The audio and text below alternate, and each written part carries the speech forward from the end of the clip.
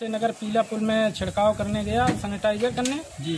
तो वहाँ पे एक रमन नाम का लड़का मैं छिड़क दवाई छिड़क रहा था उसने जरा से उसके छींटा पड़ा सर तो उसने मेरे साथ तुरंत मेरा यहाँ पे मुँह पे ये मास्क पहने था उसने तुरंत यूँ मारा तो मेरा यहाँ चोट लग गई और हल्का से और ये मेरा मास्क फाड़ दिया और मेरी मशीन उतार के मेरे मुँह पे ठूसे दे रहा था चला रहा था और इसके बाद उसने गाली भी दिया मारने की धमकी दिया। ये मेरे साथ पहला कांड नहीं है जब भी उसके एरिया में काम करने जाता हूँ ये हमेशा बदतमीजी से बात करता है। आपने पुलिस से सोचा दी हाँ पुलिस में एप्लीकेशन दे दिया है और आश्वासन मिला है कि कल वो जेल जाएँगे।